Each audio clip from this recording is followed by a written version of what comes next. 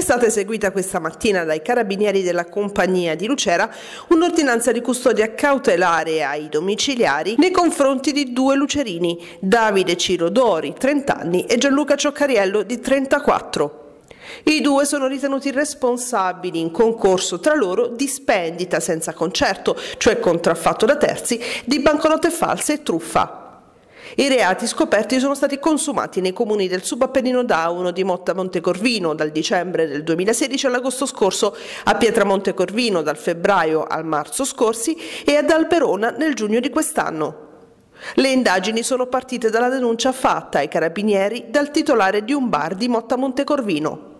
I militari della locale stazione, grazie a questa prima denuncia, sono riusciti a sviluppare un'articolata indagine che ha portato ad addebitare ai due arrestati tutta una serie di circostanze nelle quali, confidando nella buona fede dei commercianti locali, era stato messo in circolazione il denaro falsificato. È infatti portata a termine l'attività che aveva interessato il territorio di propria competenza, i carabinieri hanno esteso le indagini ai comuni limitrofi, scoprendo che c'erano stati episodi analoghi a Pietramonte Corvino e ad Alberona.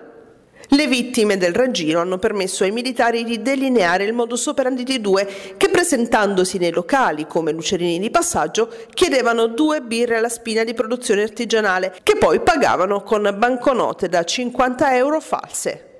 Le descrizioni raccolte, tutte molto precise e particolareggiate dei due malviventi, insieme ad una profonda conoscenza del territorio, hanno permesso ai carabinieri di Motta Montecorvino di individuare gli arrestati. A carico di Dori e Cioccariello infatti risultavano già una prima denuncia per lo stesso reato commesso a Termoli ed un'altra, sempre in stato di libertà, segnalata dai carabinieri della stazione di Deliceto tutti gli scontri effettuati dai carabinieri hanno poi trovato ulteriore conferma nelle testimonianze rese dalle vittime che hanno riconosciuto inconfutabilmente i due truffatori.